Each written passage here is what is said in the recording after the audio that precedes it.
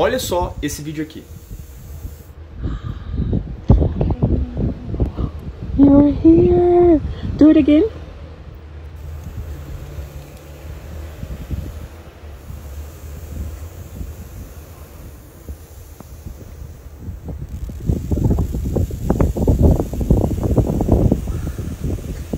Legal, hein? É o que? É o Super Choque?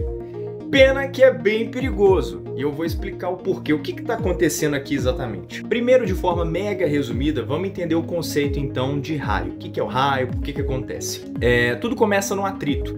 Em uma tempestade, a gente tem ali correntes de ar muito fortes.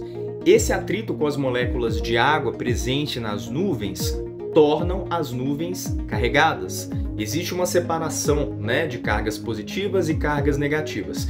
Então a nuvem ela pode se carregar positivamente ou negativamente. Isso é, vai, vai existir então uma diferença de, de potencial elétrico com o solo. Aquela natureza que está em equilíbrio ali, enfim. Então ela vai, se a nuvem estiver carregada né, de, de cargas positivas, ela vai atrair as cargas, os elétrons negativos presentes no solo. É, então vai criar esse campo magnético aqui, né? E eles querem se encontrar para poder se equilibrar. Quando essa diferença de carga é muito grande, o ar ele se torna ionizado, ele passa a ser um condutor. Por isso que falam, né, que o raio ele pode descer, né, ele pode vir do céu, quanto ele pode subir também, né? Se as cargas na nuvem forem negativas, ela vai descer.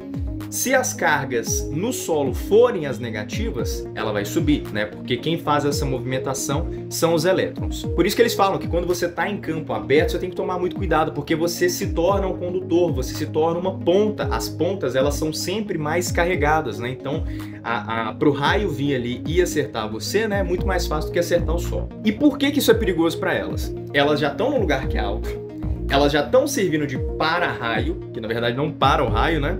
As cargas elétricas ali ao redor do, dos corpos dela já estão muito altas, a gente consegue ouvir, a gente consegue ver, né? Eu não sei qual que é o contexto do vídeo, se elas tinham ciência disso, o que, que elas estavam fazendo, se tinha algum lugar ali para elas se abrigarem, mas é importante não correr esses riscos desnecessários, sabe? Poderia ter acontecido algo pior ali, eu acho que não aconteceu.